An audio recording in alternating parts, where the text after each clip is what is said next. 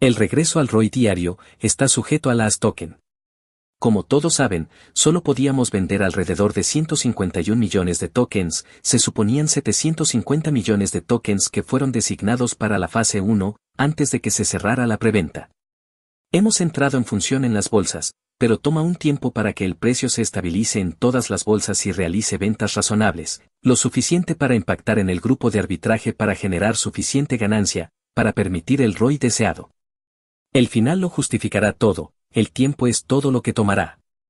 Y estamos en buen camino para lograr esta expectativa.